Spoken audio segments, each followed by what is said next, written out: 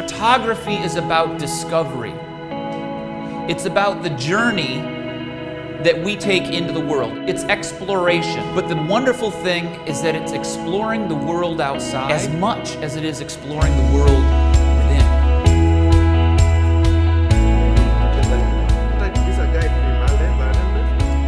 If you're holding the lens towards you, then have the, the sticker side, the right hand side of the memory card, and it goes in the little slot.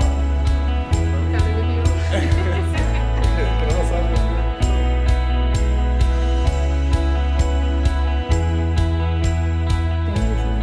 somebody's coming through, and ready, and now, yes. To see the students take the cameras and go into their communities and document positive things and see their world with new eyes is just incredibly inspiring.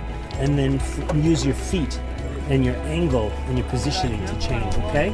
I want to make the world a better place, and I believe in the power of storytelling, and I believe in the importance of bridging these gaps of misunderstanding in the world.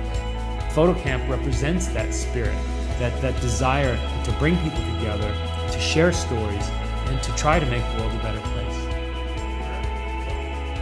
The essence of National Geographic Photo Camp is the interaction between National Geographic photographers, the photo editors, and the students. A direct connection.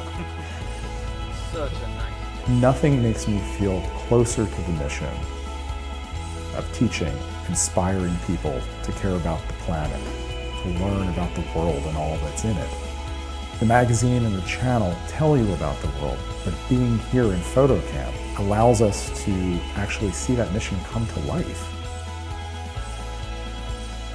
I think the benefits that we get out of this photocamp program is actually beyond photography.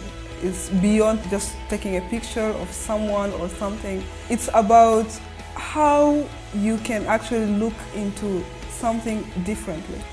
If I can be more detailed with taking a photo, I can also be more detailed about uh, decisions in my life. I can think deeper. So I can, I, I can bring something out of nothing through the eyes of photography.